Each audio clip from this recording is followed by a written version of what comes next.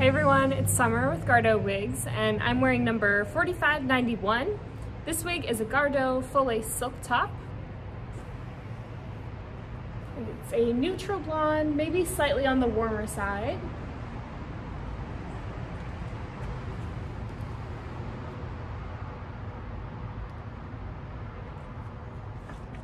It is 100% human hair and fully hand tied. It's got a silk top and lace front.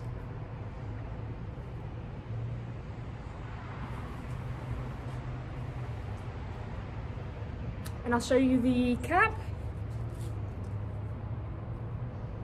So it's got clips at the temples and in the back. There's adjustable straps at the nape. It's got an elastic band to hold the lace front nice and flat to the head. This is the silk top and the lace front. And then I'll show you the hairline again.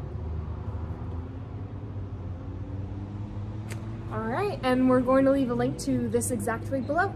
Thank you.